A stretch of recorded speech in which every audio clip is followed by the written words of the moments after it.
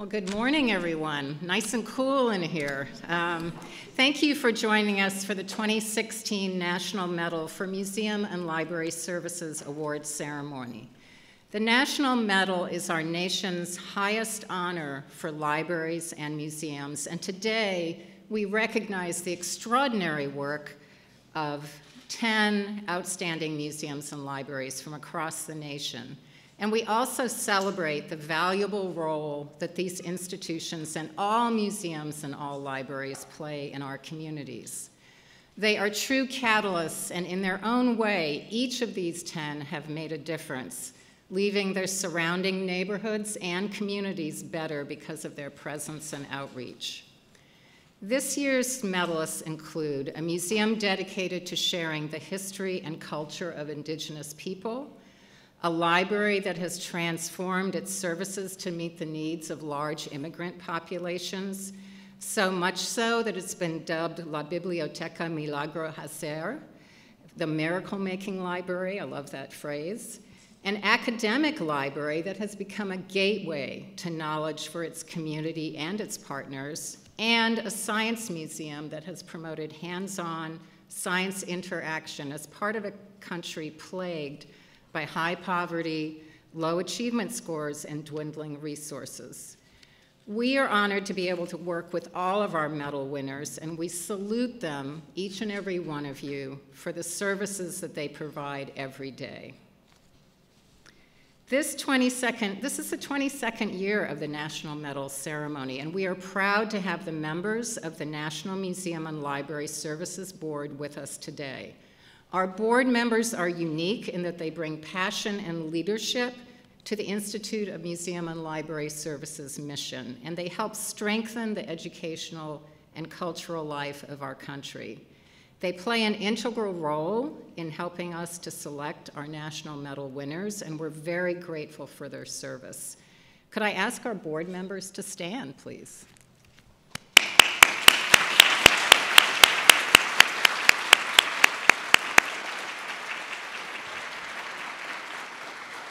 Thank you. Thank you so much for your dedication and support.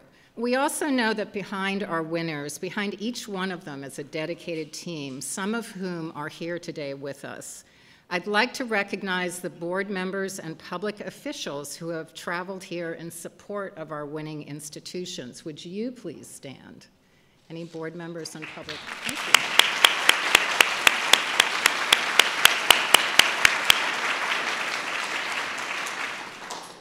I'd also like to recognize our partner in chronicling the story of our medalists, StoryCorps. StoryCorps is a national nonprofit dedicated to recording, preserving, and sharing the stories across America. They will visit each winning institution to document the stories from the community. Since 2010, StoryCorps has conducted more than a thousand national medal interviews in communities across the country and all of the interviews are preserved at the American Folklife Center at the Library of Congress. Today we have with us Ms. Robin Sparkman, the CEO of StoryCorps. Robin, are you? Yeah.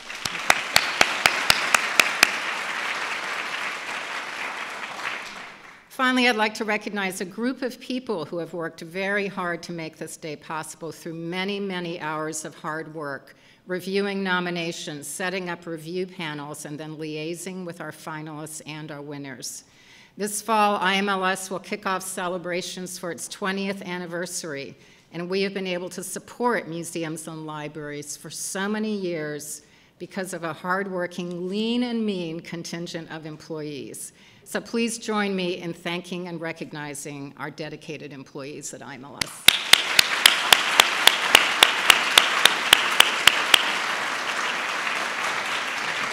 So, my final thought I'd like to leave you with today is this. This year's winners represent all the libraries and museums around the country who are committed to providing truly engaging experiences for their communities, however you define community. They are, in many cases, our community's unsung heroes. In preparing for today's ceremony, we encouraged community members from locations representing our 30, 30, finalists to share their stories on social media of how their local institutions have impacted their lives. The results were heartwarming and astounding. Hundreds of stories poured in from Americans, young and old, all eager to share the story of how a local library or museum had opened doors to powerful and even life changing experiences. So today we honor these 10 institutions, but I encourage you all to continue to support the work of libraries and museums across the country, just like those we recognize today.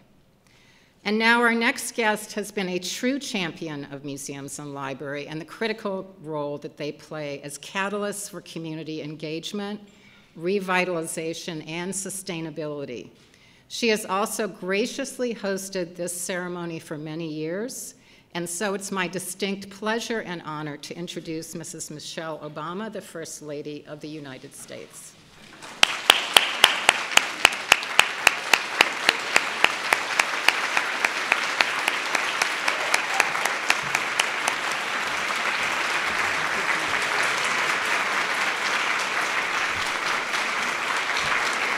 Thank you all. Thanks so much. All rest yourselves. Thank you. Welcome. Welcome to the White House um, as we award the 2016 National Medals for Museum and Library Service. Uh, I want to start by thanking Kathryn uh, for that wonderful introduction and for her extraordinary leadership, as well as everyone from the Institute of Museum and Library Services. Uh, I know she gave out all the accolades before I came out, but I want to join in uh, and, and, thank everyone for their hard work, their continuous hard work, their dedication, and their passion for this issue. Uh, and of course, I want to recognize our 10 incredible awardees and community members who've come here today from all across the country. Uh, you all are doing such inspiring, innovative, and impactful work, and we are incredibly proud of everything you all have been doing. So uh, enjoy, enjoy this moment, and don't be nervous. I know it's hard to be in this room and hear that, but yeah, they're all like, yeah, yeah, you can do it. You're going to make it up these stairs just fine. Uh, and I have to tell you, someone who lives in a museum and whose husband will soon be opening uh, a, a library himself, as you all have heard, uh, I've been thinking a lot about uh, what you all do. And I've celebrated this event with you uh, uh, a number of times over the years, and altogether since 2009, IMLS has recognized 80 museums and libraries in 32 states.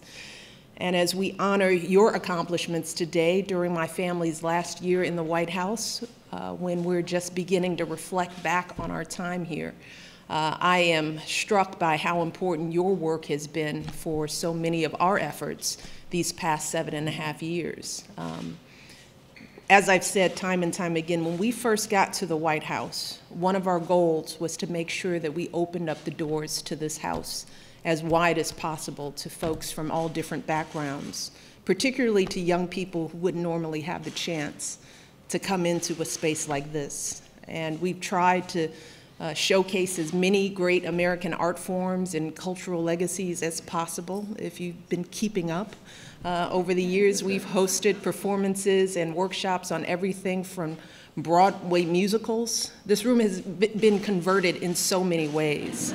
We've had a Broadway stage here with uh, kids and performers singing and dancing, everything to jazz and, and country music to spoken word poetry.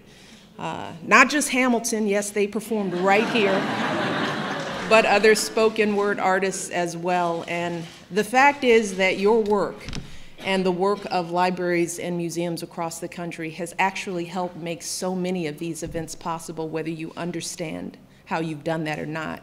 Time and time again, it's our nation's libraries and museums who've sparked the imaginations and encouraged the interest of so many of our nation's most accomplished authors and performers. And I'm thinking of the great writers who basically took up residence in their library when they were growing up or the great artists who were inspired by uh, an amazing exhibit they saw when they were a kid. Uh, and this isn't just true for the kinds of folks who perform at the White House. Uh, we've heard this from so many people whose lives have been affected uh, by a great book, or a powerful piece of art, mine included, uh, that has transformed the way they see the world and the way they see themselves. That's how we know that in so many communities, our libraries and museums don't just preserve and promote our cultural treasures, they also enrich uh, and enlarge our lives. Uh, and that's really one of the most powerful things that you all do each and every day. This year's incredible awardees are a testament to that truth.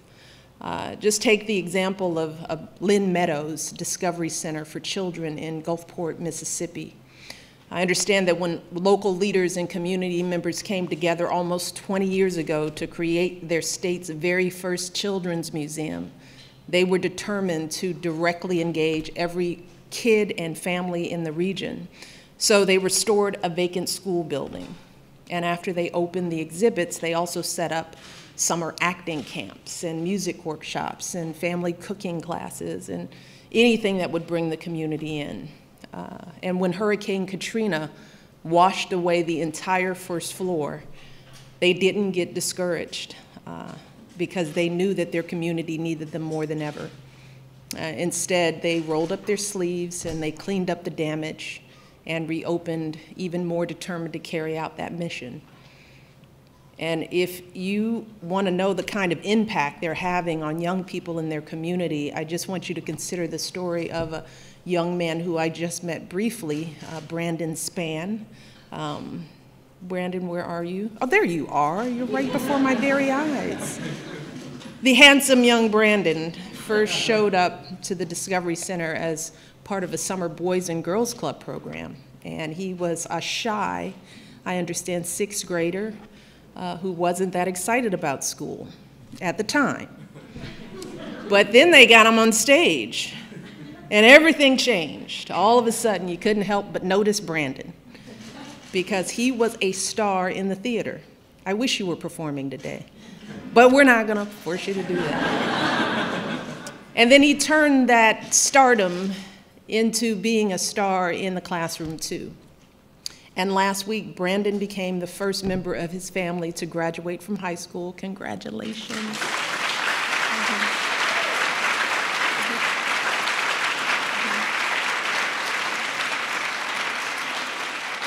And he's going to be the first member of his family to attend college as he pursues a degree in drama. Yeah. I just love those stories, and there's a story like that uh, with every one of these uh, awardees. That's the kind of impact our museums can have, and that's the story of so many of our libraries as well. Um, another one of today's awardees, the Brooklyn Public Library, is a perfect example.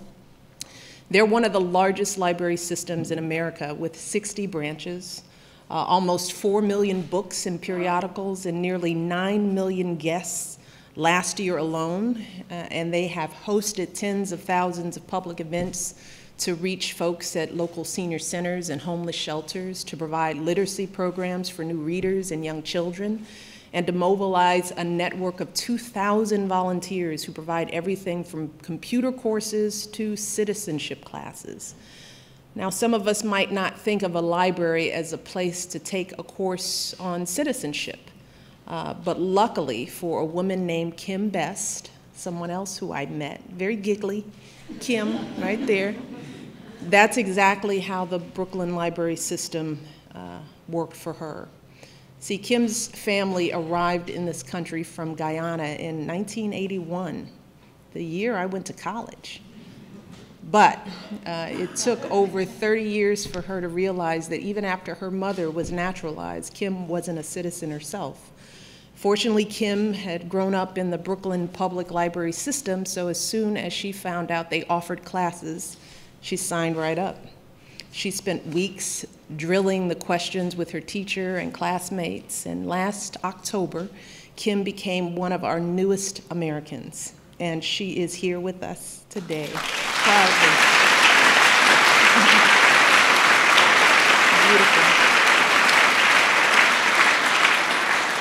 Kim is also the mother of a 10 year old son named Ibrahim, who wants to be an engineer when he grows up, I understand.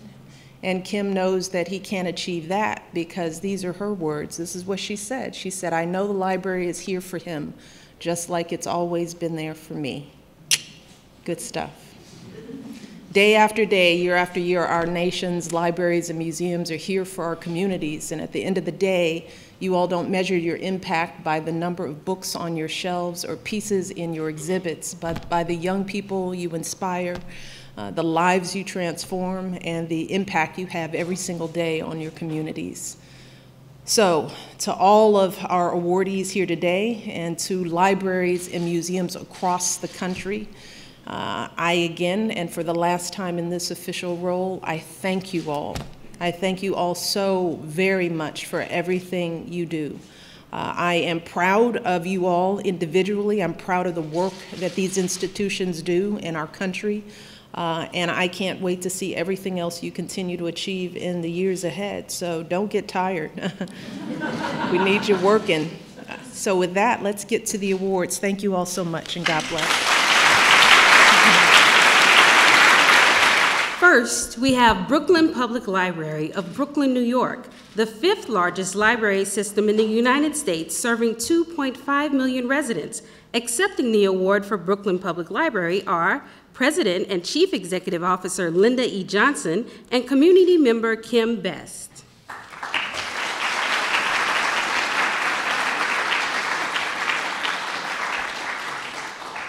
Brooklyn Public Library is known for its robust outreach services for all ages and stages of life, including new Americans. Today, 46% of Brooklynites over age 5 speak a language other than English, and 50% of Brooklyn households speak a foreign language. To best serve the changing community, the library has become focused on transitional programs targeted at these populations. Materials about citizenship are available in all 60 branches, as well as services to aid with test preparation for citizenship courses. Collections can be found in over 126 languages, and English as a second language classes serve some 650 students annually. These offerings are what community member Kim Best credits for her successful completion of the official citizenship test, saying that Brooklyn Public Library gave her the confidence to excel.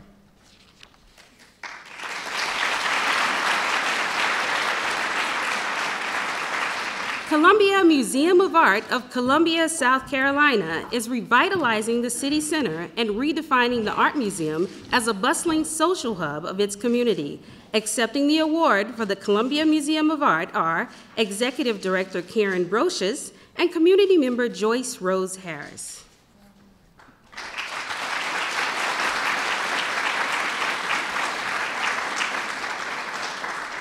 Poet and social political activist Joyce Rose Harris joined the Columbia Museum of Art the first day she walked in.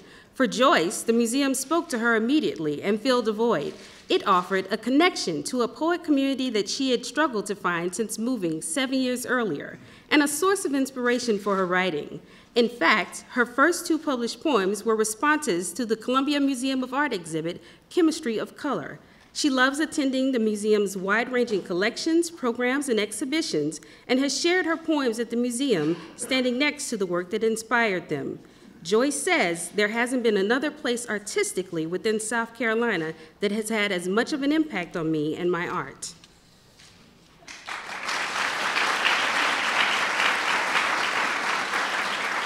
When Lynn Meadows Discovery Center for Children of Gulfport, Mississippi opened its doors in 1998, it was Mississippi's first children's museum. Since then, the institution has remained dedicated to expanding a child's world through shared learning experiences.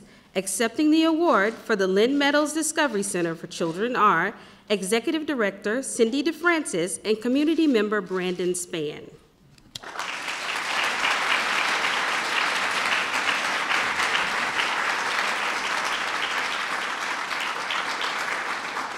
Keeping in mind the significant high school dropout rate in Mississippi, the Lynn Meadows Discovery Center for Children developed the Wings Performing Arts program in order to extend reach beyond the center and into the local schools. As part of the program, the staff works with families to draw up contracts that work to ensure the students' commitment to education. The contract's goal is to prioritize schoolwork through the Wings Performing Arts program. If grades drop or problems arise, the child must take a temporary break from the program. Brandon Spann has been a part of this program since he was 11 years old and credits it for his successful graduation from high school last week.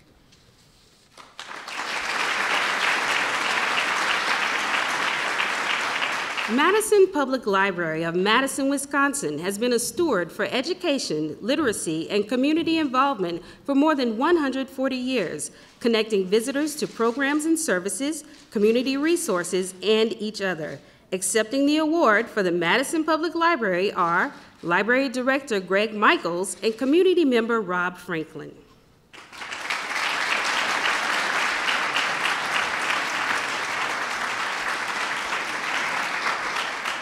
Rapper and spoken word hip hop artist Rob Franklin left his job and moved to Madison to focus on his music, but it didn't take long for him to exhaust all financial options. He took odd jobs and spent full days at Madison Public Library, searching for ways to continue pursuing his passion.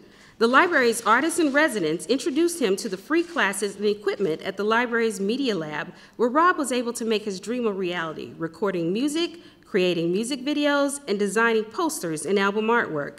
After mastering the offerings of the Media Lab, he began volunteering to provide media instruction to local students and expanding outreach to an at risk youth at nearby juvenile detention center. He taught audio engineering and video production classes, providing access to technology that otherwise would be unavailable to the children. Rob says, being able to bring joy and self expression to kids who've lived tough lives is bigger than any record I could ever sell.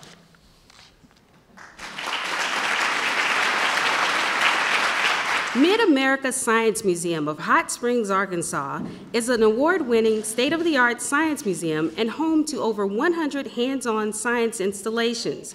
It is Arkansas's only Smithsonian affiliate. Accepting the award for the Mid America Science Museum are Executive Director Diane LaFollette, and community member Casey Wiley.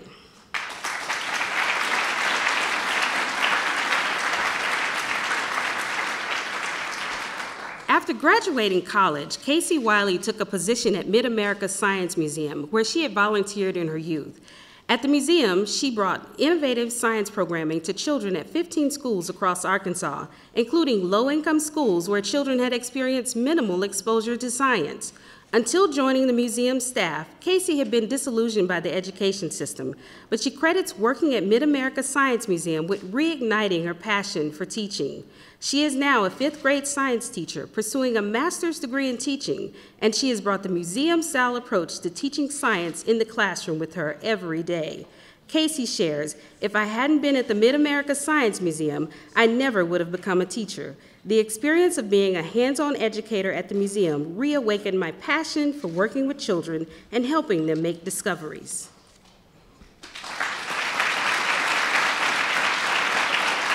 North Carolina State University Libraries of Raleigh, North Carolina, serves as a gateway to knowledge for the local community and its partners. Accepting the award for North Carolina State University Libraries are Vice Provost and Executive Director of Libraries Susan Nutter, and community member Marsha Gordon.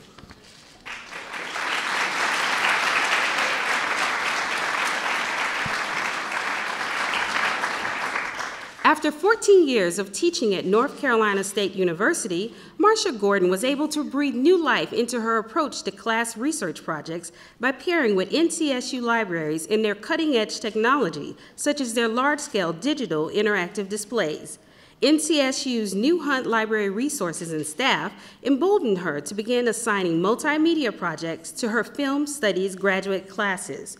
For the Shooting Wars project, students brought moving images, archival material, audio, and text to the screen for an engaging presentation about the nature of American military conflicts. The project provided an amazing learning experience for the greater university and public audiences. She is now on her fifth multimedia project working with the librarian and its resources. Marsha says, the North Carolina State University libraries have really thought about what it means to be a 21st century library. It's a perfect combination of offerings that help students learn and express intellectual and creative flexibility.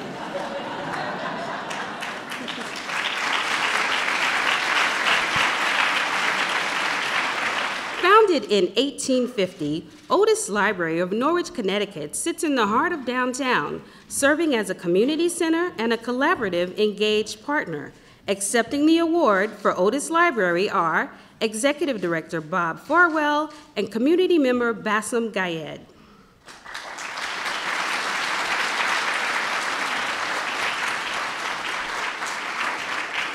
When Bassem Gayed moved to the United States from Egypt to be with his wife, he began frequenting the library, learning everything he could about American culture and history. He credits the library's free comprehensive citizenship resources with preparing him for the test to become a U.S. citizen. Bassem also took a reference desk job at the library, working with people a few hours a week, and after several years was appointed the Multicultural Services Coordinator. Because he was the sole Spanish speaking employee and understood the immigrant experience, he was able to develop targeted programs, services, and materials to help other immigrants adjust to life in the U.S. and flourish the way he had. He made foreign language material easily accessible for children and adults, expanded the library offerings, and focused on helping American born library users better understand world cultures. Bassem notes at the library, if we teach kids from a young age about other cultures, that there are other people who think, live, and worship this way, it makes a difference. It makes a better world.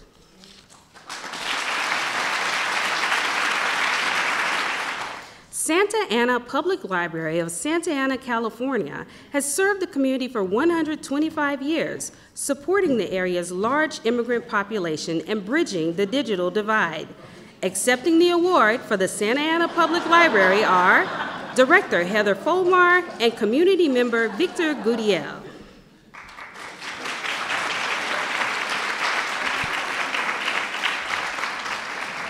When his family was homeless, Victor Gudiel's trip to Santa Ana Public Library for a youth group introduced him to a special community. From that night on, he was hooked on the library, soon going almost every day after school, befriending the kind library staff and taking a part time job there for the duration of high school.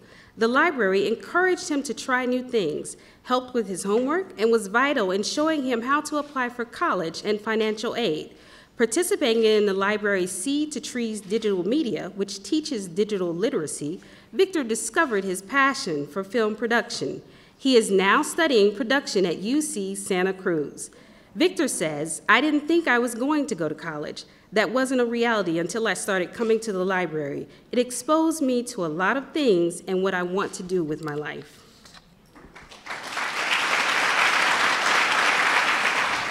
The Chicago History Museum of Chicago, Illinois is the city's oldest cultural institution and has served as a hub of scholarship and learning, inspiration, and civic engagement for more than a century. Accepting the award for the Chicago History Museum are President Gary T. Johnson and community member Joyce Chiu.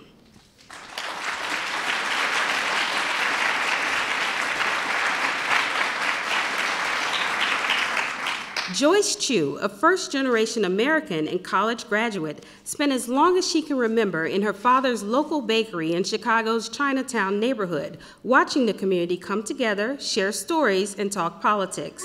The culture of Chinatown, particularly the strong connection between the Chinese community and food, was brought to life when the Chicago History Museum interviewed her and her father for the My Chinatown exhibit, spotlighting local Chinese Chicagoans. The exhibit, gave her a unique lens into her own family's history while helping others in Chicago better understand the culture and heritage of the Chinese community. The project was conducted around the time of a devastating fire at a local Chinese museum, so the exhibit not only reached a new audience, but it also filled an unfortunate gap left by the destroyed artifacts. Joyce says it's meaningful that the My Chinatown exhibit is able to preserve the stories of our parents and grandparents for future generations so they can get a glimpse of what it was like to be one of the first groups of Chinese Americans to immigrate to the city.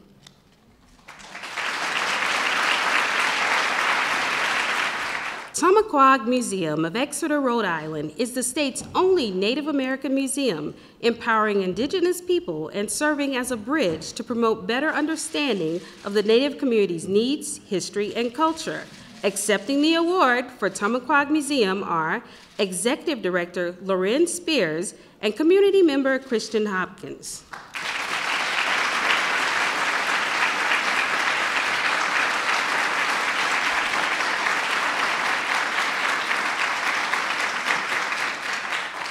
Recent college graduate Christian Hopkins found his direction at Tomaquag Museum. Growing up, he worked as a docent, attended classes, tutored youth, and became heavily involved in Narragansett performance art forms, including flute, drums, and dance. Christian was empowered by the educational programming and cultural dialogue the museum offered. Learning about his Narragansett culture and getting involved inspired him to embrace his identity as a member of the tribe. He credits the museum for helping him find acceptance and pride in his cultural heritage and helping him to flourish. He grew to be a champion Eastern war dancer and became invested in the history of his tribe. He hopes one day to make films that spotlight and share the Narragansett culture and history with the public. Christian says, Tomaquag played a huge role in my life. It instilled a strong sense of pride, and without it, I wouldn't be on the course I am, graduated from college and looking at graduate school.